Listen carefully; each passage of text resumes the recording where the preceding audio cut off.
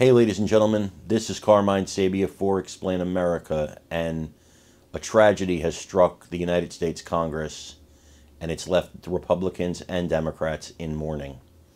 Before we get started, please make sure you like, comment, share, and subscribe. Those little things really help us out, and they help our channel continue to grow. And if you are a Trump supporter, please hit that join button and join us here as a member.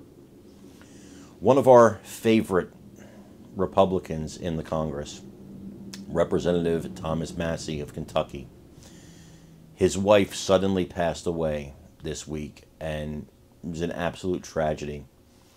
Now, Mr. Massie took to X, the platform formerly known as Twitter, where he made the heart wrenching announcement, and he went on to share pictures, photos, stories of his wife and their family. And I'm not ashamed to say it was it was it brought a tear to my eye. It was a heart tugging thread. And you know, Massie's a really great man, and his family, you know, great people. And when a tragedy strikes like this, it's times like that that you see Republicans and Democrats actually come together. You saw it what happened with Steve Scalise when he came back to Congress, and Republicans and Democrats greeted him and it's it's part of what makes America America. It's the America I know and love. It's the America that goes beyond partisan politics, goes beyond you know our differences and what divides us, and we look at the humanity. The humanity that unites us.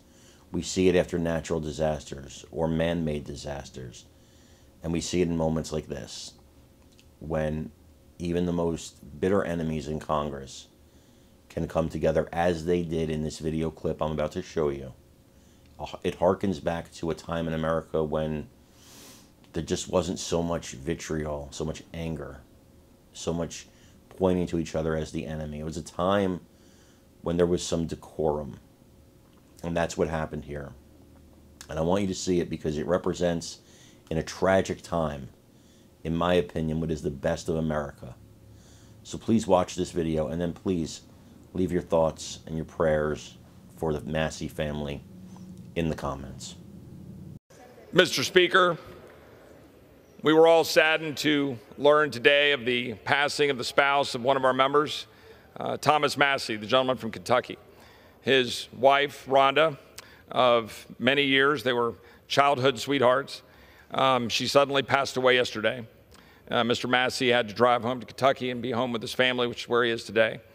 Uh, I would ask everybody in the chamber and everybody around the complex to please rise and observe a moment of silence and offer your prayers and thoughts and condolences for our good friend from Kentucky.